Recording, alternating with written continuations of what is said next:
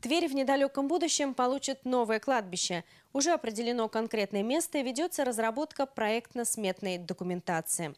О том, почему решено проводить эти работы, где именно жители областного центра могут хранить своих родных и близких, мы рассказываем в следующем материале нашего выпуска.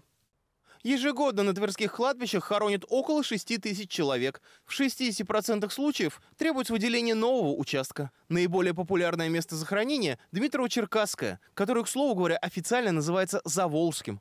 Однако его ресурс подходит к концу. К сентябрю этого года э, уже места там не будет. Поэтому выделены земли в районе э, сельского поселения Бурашева, Калининского района, в районе деревни Березина. На сегодня проведены все работы по выделению этого участка, там порядка 40 гектаров.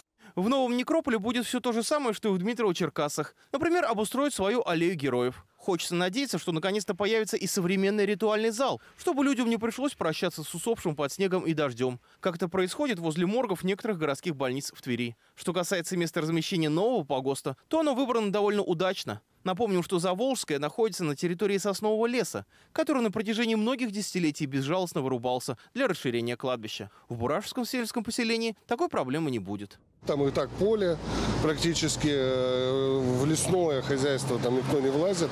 И, соответственно, уже есть границы определенные, они нанесены на генплан города.